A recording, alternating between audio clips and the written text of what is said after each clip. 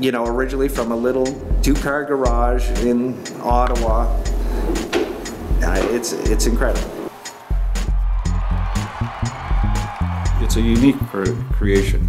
Uh, uh, There's been an inventive uh, component in my family forever, and I didn't think I would ever really ever use it. Uh, Sort of as a stagehand lightly, but uh, baseball, this became kind of an obsession.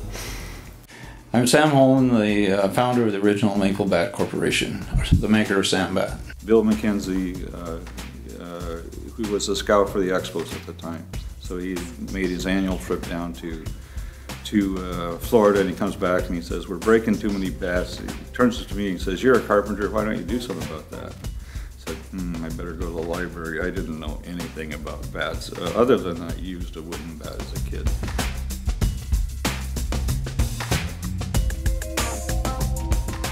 Why the name Sam Bat? Well, that was Pete McKenna. Uh, Pete says, uh, by the way, if you want your bat back, you better put your name on it. So that original bat, I wrote Sam Bat on.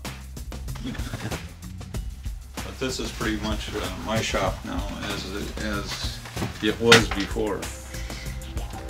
And when I started the Bat Factory, there was a vertical wall, basically where you're standing, and I took the wall and made it the horizontal floor. Uh, Joe Carter, God bless him, uh, I mean, what a, what a, what a man in baseball. Uh, uh, One of the best, uh, best frontmen you could ever possibly have. Joe sold more bats than I've ever sold. Uh, I'll guarantee you that.